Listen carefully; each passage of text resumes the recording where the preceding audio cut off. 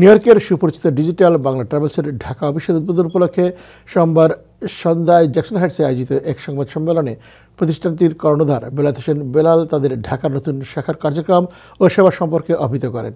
গত সাতই নভেম্বর ঢাকার বনানীস্থ বাড়ি নম্বর নয়, রোড নম্বর সতেরো, ব্লক ই ঠিকানায় ডিজিটাল বাংলা ট্রাভেলসের নতুন শাখার উদ্বোধন করা হয়। নতুন এই শাখার মাধ্যমে সপ্তাহে সাত দিন চব্বিশ ঘণ্টা বাংলাদেশ এবং যুক্তরাষ্ট্র সহ বিশ্বের বিভিন্ন দেশ থেকে বিভিন্ন এয়ারলাইন্সের টিকিট বুকিং সহ সব ধরনের সেবা পাবেন গ্রাহকরা। এ সময় উপস্থিত থেকে ট্রাভেলসটির চব্বিশ ঘণ্টার সেবার ভূয়সী প্রশংসা করে শুভেচ্ছা বক্তব্য রাখেন জেবিবি এর সভাপতি গিয়াস আহমেদ সহ বাংলাদেশের জনপ্রিয় তিন তারকা মামুন হোসেন ইমন, সজল নূর ও নীরব হোসেন। পরে অতিথিদের নিয়ে কেক কাটেন বেলায়েত হোসেন বেলাল।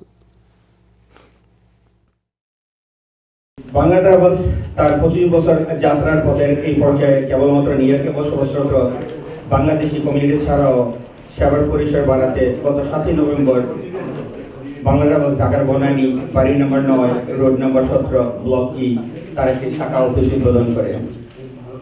এই শাখা উদ্বোধনের মধ্য দিয়ে বাংলা বাংলাদেশ থেকেও টোয়েন্টি ফোর সেভেন সপ্তাহে সাত দিন নিরবিচ্ছিন্নভাবে সার্ভিস দিয়ে যাবে। গ্রাহক সেবার জন্য আমাদের যথেষ্ট আগ্রহ ছিল কীভাবে আমরা চব্বিশ ঘণ্টা সার্ভিস দিতে পারি।